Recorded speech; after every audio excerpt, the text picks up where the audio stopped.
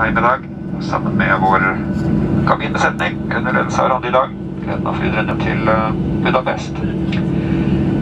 Vi skal bare fjerne litt eh, frost fra vingene før vi setter kursen av gårde. Forventer en flytid i dag på ca. 2 timer og 35 minutter. Siste værrapporten fra Budapest den melder om eh, ja, noen skyer er det, og en temperatur på 4 grader. Har funnet bord. Får en fin tur jeg tilbake med litt uh, mer værrapport når vi nærmer oss uh, Budapest.